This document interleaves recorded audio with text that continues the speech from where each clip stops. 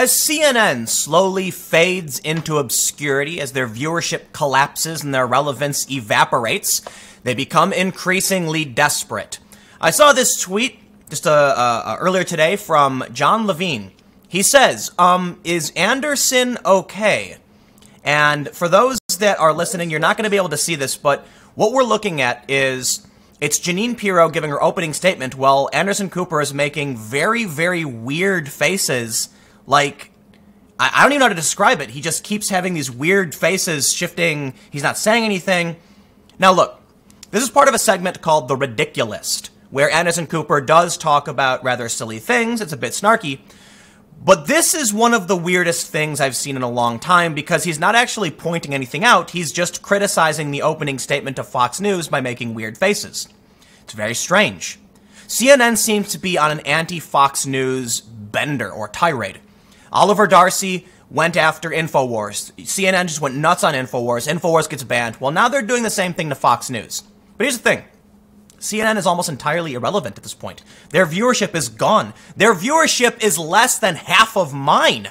Seriously, some dude on YouTube, me, who talks to the camera to you, has more viewers than CNN does per per hour segment.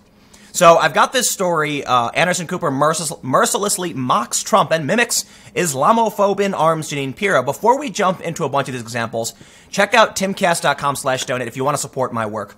There's a monthly donation option, there is a cryptocurrency option, a physical address, but of course, just share the video wherever you'd like, or click the like button and comment, or do all of them, because that boosts it in the algorithm. It tells YouTube that it's like a good video.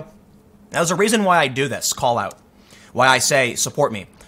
CNN relies on advertisements for their revenue.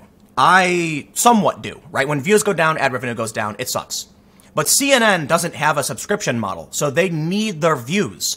So as CNN slowly drifts into oblivion, they're desperately trying to rack their views back up. And that means you're going to see Oliver Darcy and Brian Stelter start attacking Fox News relentlessly so that I talk about it and gives them more play. You're going to see Anderson Cooper doing these really weird faces that just like just to make fun of Fox News. It's very strange. In fact, uh, so I have, I have the ratings pulled up, but what I want to I want, I want to pull up this. Um, oh, what did I just? There we go. Here's the story. This is a video from CNN where Oliver Darcy said it's naive of Pete Buttigieg to go on Fox News. Well, Bernie Sanders did it, Tulsi Gabbard did it, Andrew Yang did it. Yang went on uh, uh, Sunday Special with Ben Shapiro. No, it's not naive. It's called good faith. But here we have a segment. Should 2020 Democrats appear on Fox News? The answer is yes. Fox News is the biggest cable channel, period. Why is CNN desperately trying to come after Fox News? Well, because they're fizzling into obscurity. CNN is the airport news network. They're the news network of, of hotel lobbies. Check this out. Sunday, May 19th. I love doing this, by the way, because CNN, you know, uh, like, I, I, I I don't know how to describe my personal feelings towards someone like Oliver Darcy because I've known him for a while, we've talked, but I do feel that he's a bit duplicitous and he's a bad faith actor.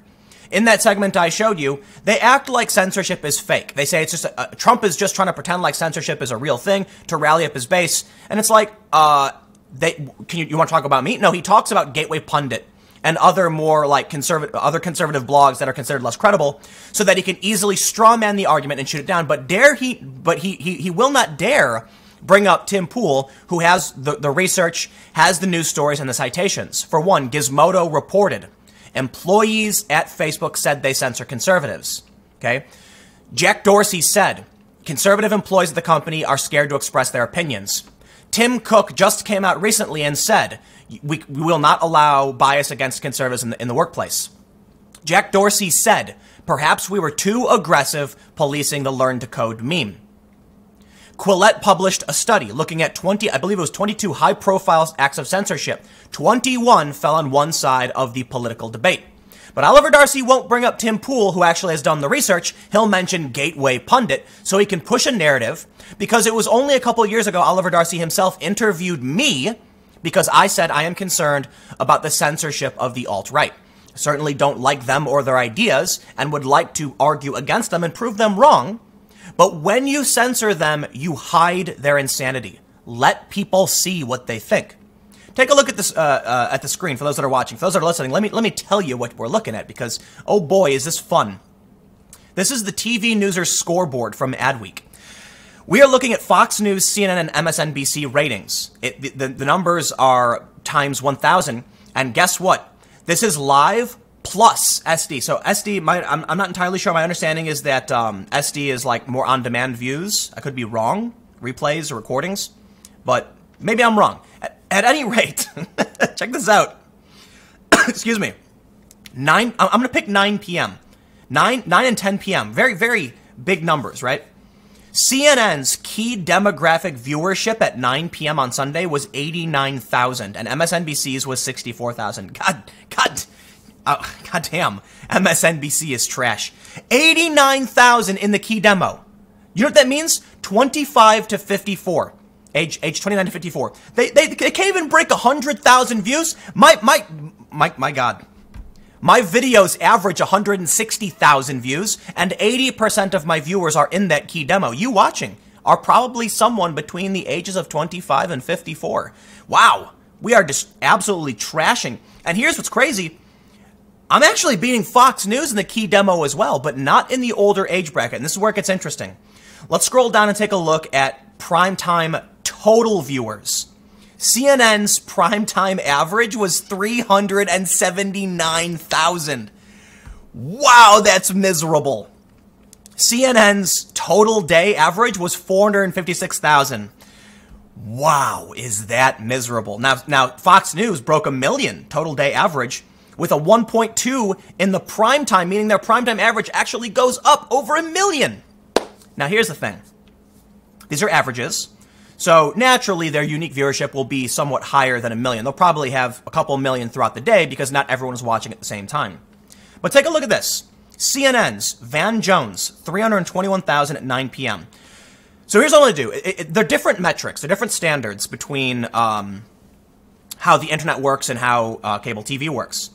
But my, my videos average about 160,000 unique viewers and there is an overlap between all. So not everybody watches uh, every video. It's a, it's about four to eight on average, which means I'm probably, if I was going to be fair in terms of unique viewership, probably around half a million. So check this out. This is the channel you're looking at now, Timcast. Timcast is a series of videos pertaining to particular news stories, much more opinionated, much more meant to be just kind of like me off the cuff. In the past 30 days, viewership is down. Uh, it's down for, for, for most people as we enter the summer months, but I'm at 21.8 million, down from last month, I think, was 20, 27 million. So that's kind of a bummer. But check this out. Here's my Sunday ratings. 958,421. But wait, there's more. I have two channels dedicated to my, my me as an individual. On my Tim Pool channel, my ratings for Sunday were 201,000 views. So it's not the same metric. It's not entirely fair to compare them one to one. But I have a total of, of around uh, 1,150,000 views for the whole day. Considering there's some repeat viewers, which could be true for CNN as well, I would reduce mine down to maybe like six or 700,000. I don't know necessarily how to be fair, but because there's, you know, uh, some, not everybody watches every video and not every video is getting a million views, for an hour's worth of content, my viewership is higher, or at least, let's say this. Let's, let's, let's bring it down way low and say if we wanted to say my viewership was actually way less, I'm still rivaling CNN. But in fact, in the key demo, almost all of my viewers are in the key demographic. Almost all. It's around 80% are between 18 and 54. And so they're only including 25 to 54, where the bulk of my viewers actually are. So 18 to 50, uh, 18 to I think uh, 24 is my third largest demographic. There's like actually 12 to 17 year olds who watch my videos for some reason. Man, you guys, you guys are getting a head start in politics. So here's the thing. I, am not doing this to gloat necessarily, right? But uh, take this into consideration. Why is it that CNN targets alternative media?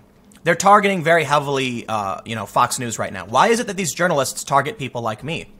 Well, I can show you straight up the ratings nearly 1 million views in a single day. Now, for a period last month, I was getting 1.1 million on this channel alone, averaging around 1.3 to 1.4 million per day total views on my between these two YouTube channels.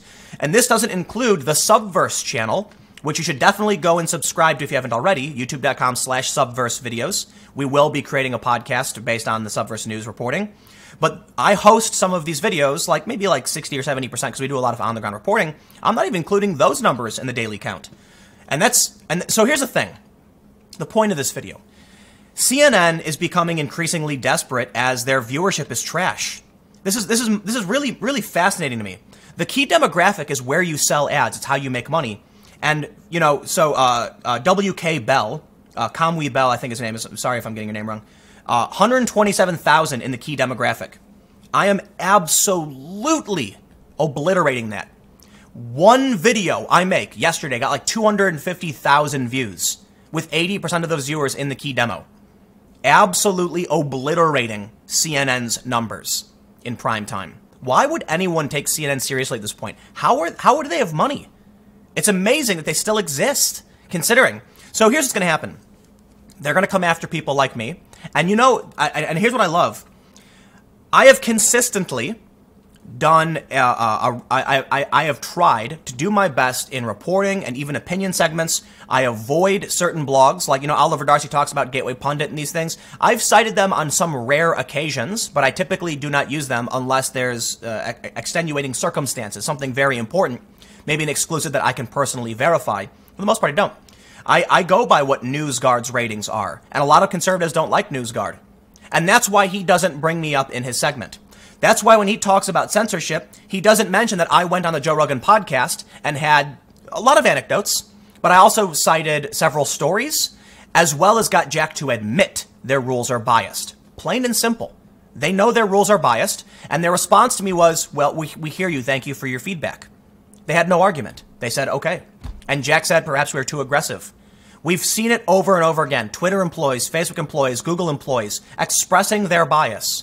We've seen the president come out against it, and then CNN lies, but then claims it's everyone else who's lying. But but dare he not bring up me because he knows I've got my facts straight and I've got more than enough data to back it up. If you want to claim that, you know, I don't know, Diamond and Silk, Candace Owens, these individuals are just anecdotes. They're anecdotes. They're individual instances. They don't account for all of the censorship. Sure. Then let me talk about Gizmodo's publication. Are you going to call them a liar? Let's talk about Recode. Are you going to call them a liar? No, these are legitimate, verified news sources on the left saying this is happening. Of course, many of these other writers don't want to admit it. They walk it back, but the reality is it happens. We know it happens. And we have the stories and the citations to back it up. Now, it's true. It's possible. Gizmodo and Vox are liars. That wouldn't surprise me. But if they're coming out saying Facebook employees are saying they suppress conservative news, I'm going to have to go ahead and believe them. They have no reason to lie. But of course, CNN does. CNN has a big reason to lie. Their ratings are in the dumpster, and they just bought out 100 employees. And as everyone knows, a buyout is a layoff with a smile. And usually, when a buyout happens, layoffs, layoffs are not far uh, from happening. So CNN is not it's not looking too pretty. I also have some inside information on CNN because I have sources. I do journalism. Granted, you're what you know. Most of the stuff I produce is just more of my opinion column stuff as of as of the past like eight months or so when I started this channel. But Subverse is kicking up. We're expanding. We're hiring. We're, we're about to, we're about to uh, sign a deal on a space. We're gonna have an office. And if you go to Subverse, you see it's all just straight news and a lot of compliments for, about that. So I really appreciate it. But here's the thing. Well, uh, you know what? No, no. Okay, I'm just I'm just gonna start repeating myself, and I don't want to do that. CNN is falling down the tubes. Too bad. That's too bad, isn't it? So I'll leave it there. I'm not trying to be too much of a dick. I only have uh, uh, indignation towards uh, CNN because they lie. And I think the reason for it is they're grasping at straws. They're struggling to stay afloat. So you'll end up seeing this weird video of Anderson Cooper making weird faces. And this kind of, uh, it makes me sad. Because Anderson Cooper has a long and storied career covering things, you know, internationally and doing a good job of it. But now it's just gotten weird. CNN. It's, it's, it's, it's the dream is over. Once the, the great you know, they were the bringer of 24 hour news, and now they're the 89,000 in the key demo at 9 p.m. Wow. Who's buying ads on CNN? Anyway, I got, an, I got my, my, next video will be coming up at 4 p.m. on my channel, youtube.com slash timcast. That is the Tim Pool channel, is a different channel from this one. Uh, for those that are listening on the podcast, that will be the last segment. But stick around, more news to come, and I will see you shortly.